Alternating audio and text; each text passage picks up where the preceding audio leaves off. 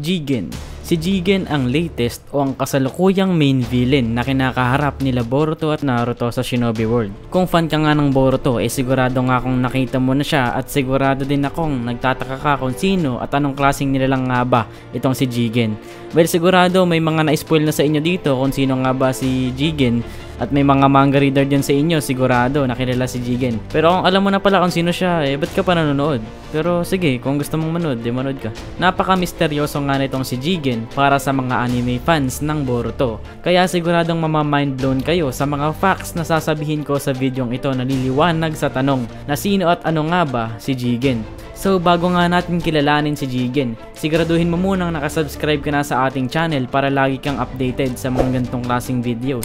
At kung kinatamad ka nga at ayaw mong isubscribe yung ating channel, eh pakilike na lang yung ating video para kahit papano eh may maitulong ka naman sa ating channel. So with all that being said, let's first roll the intro. Tebayag! What a bad day, pushing to a new life. 3700 years now, I'm free. Look at all the changes all around, Know, my friends, they all got me. Cause we soak up in the stone age. Gotta find a way to get back to the more days. When the time makes them ramen through the cold phase.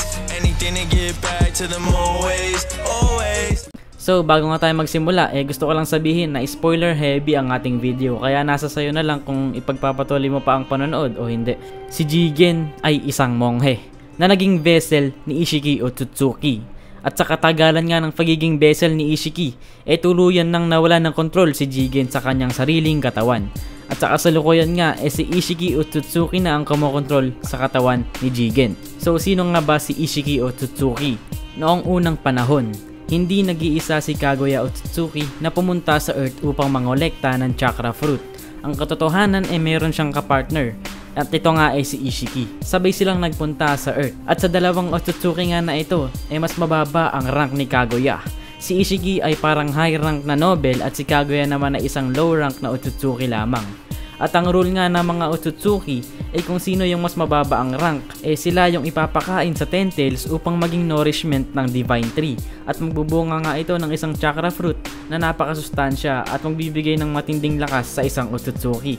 At di nga gustong mamatay ni Kaguya, kaya habang off guard o hindi alisto itong si Ishiki, ay tinangkang patayin ni Kaguya si Ishiki. Ngunit may natirang ang kaunting buhay si Ishiki sa kanyang katawan kaya hindi siya namatay matapos ang pangyayaring pagtatangka ni Kaguya. Habang naghihingalo itong si Ishiki, ay may nakita siyang isang monghe. Ito nga ay si Jigen. Bigla niyang sinakal ang monghe na ito hanggang nahimatay itong si Jigen. Then gamit nga ang kanyang ocular power o dojutsu ay pinaliit o shinrink ni Ishiki ang kanyang sarili at pumasok nga siya sa tenga ni Jigen papunta sa loob ng katawan ni Jigen at nabuhay nga si Ishiki gamit ang mga nutrients na nasa katawan ni Jigen. Nabuhay itong si Jigen, hindi talaga siya pinatay ni Ishiki. Ngunit hindi nga alam nitong si Jigen na unti-unti na palang nawawala ang kanyang kontrol sa kanyang sariling katawan gawa ng karma na inilagay sa kanya ni Ishiki. Tuluyan nang nakuha ni Ishiki ang katawan ni Jigen matapos ang nagdaang panahon. Ang kaso nga lang, ang mortal na katawan nitong si Jigen ay hindi sapat upang i-contain ang napakalakas na kapangyarihan ni Ishiki Otsutsuki. Kaya hindi niya pwedeng labanan si Kaguya kasi siguradong matatalo siya gawa ng mahinang katawan ng kanyang vessel na si Jigen. Kaya nga naisipan nitong si Ishiki na buuin ang Kara Organization upang magsimula na maghanap ng mga vessel na may kakayahang i-contain ang kanyang lakas bilang isang Otsutsuki. Kaya naman noong naging member ng Kara Organization itong si Amado, ay eh nagsimula silang gumawa ng mga experimentations sa mga tao na kanilang kinikidnap upang lagyan ito ng mga karma at sa dinami-dami nga ng tao na kanilang eh, pinag-eksperimentuhan, eh si Kawaki at Code lamang ang nagkaroon ng kakayahang i-handle ang karma sa kanilang katawan. Ngunit si Code nga ay naging isang failed vessel at si Kawaki lamang ang naging successful o ideal vessel para dito kay Ishiki slash Jigen. So bago nga makompleto o maging matured na vessel itong si Kawaki, eh napalaban itong si Jigen kay Naruto at Sasuke. Noong unang laban nga, eh kinawawa niya ang dalawa. Ngunit noong pangalawang laban niya kay Naruto at Sasuke, eh may backup na nga si Sasuke at Naruto na sina Kawaki at Boruto. Ang laban na ito guys ay malapit na din maipakita sa anime kaya abangan nyo na guys. So sa laban niyang ito, eh magagawang kawawain ni Jigen slash Ishiki si Naruto at Sasuke. Ngunit dahil nga sa Baryon mode ni Naruto na napakalakas, eh unti-unting nabaliktad ang laban. Nagawang pahirapan ni Naruto itong si Jigen slash Ishiki. At sa laban nga na ito, eh hindi tuluyang mailabas ni Ishiki ang kanyang tunay na lakas as Anotsutsuki dahil mahina nga ang katawan ng kanyang vessel.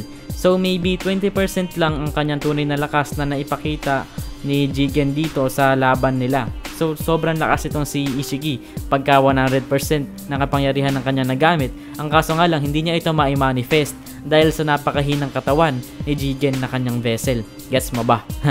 hindi tayo sure, hindi natin alam kung magbabalik pa ulit si Ishiki sa kwento ng Boruto series dahil wala ngang karma si Kawaki kaya hindi siya pwedeng mag-resurrect sa katawan nitong si Kawaki at hindi din siya pwedeng mag- mag-resurrect sa katawan ni Code na isang failed vessel.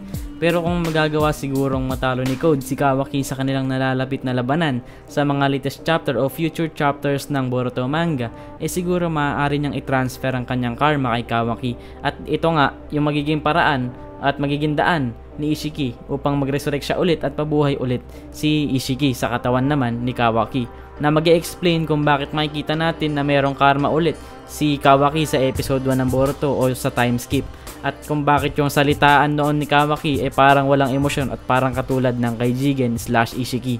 So, ano nga ba yung kakaibang Kekkei Genkai na ocular power ni Ishiki? Well, hindi pa malinaw kung ano ang tawag dito. Ang alam lang natin ay may kakayahan ito na mag-travel through space and time. At ito nga yung dahilan kung bakit may kakayahan si Ishiki na mag-travel sa iba't ibang dimensyon.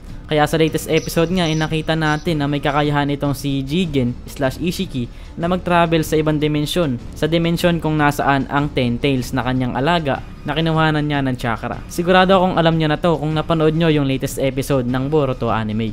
At saka guys, meron pang dalawang kapangyarihan ng kanyang dojutsu.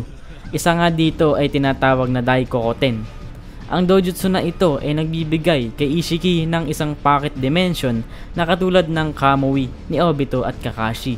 Maaari niyang gamitin ang pocket dimension na ito sa madaming bagay tulad ng paglalagay ng iba't ibang appliances at gamit na pwede niyang magamit sa mga labanan o kaya kunyari lamesa, ginawa niya dati yun, naglabas siya ng lamesa gamit da, ano galing dun sa kanyang pocket dimension.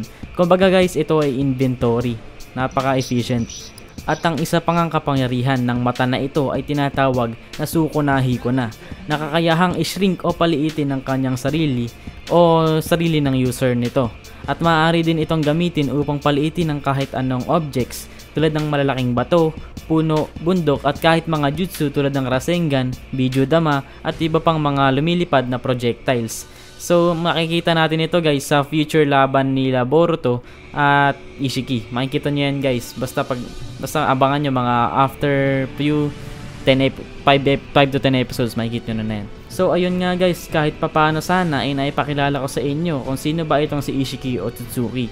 Yun lang naman guys, sana nag-enjoy kayo. See you on the next video, Andre Senpayout. Tsaka nga pala guys, yung TikTok channel ko guys ay meron lang 200 followers. So kung sino man yung nag-upload dyan ng videos ko na umaabot ng 1,000 views at meron pa siyang followers na 20k, 13k, 1,000 na followers, hindi ako yun guys, paki-report na lang yun. Kasi ni-report ko na may nagka-copyright sa akin dyan eh. Wala man lang ka-credits credits masakit yun kasi mahirap isipin yung content tapos i-upload lang ng iba tapos walang credits, 'di ba? Masakit yun. Ayoko nang ganun. Wag niyo i-re-upload. Wag niyo i-re-upload yung mga videos ko kasi akin to, mga gago. Joke lang. So yun lang guys. See you guys in the next video. Andre Senpai out. Peace.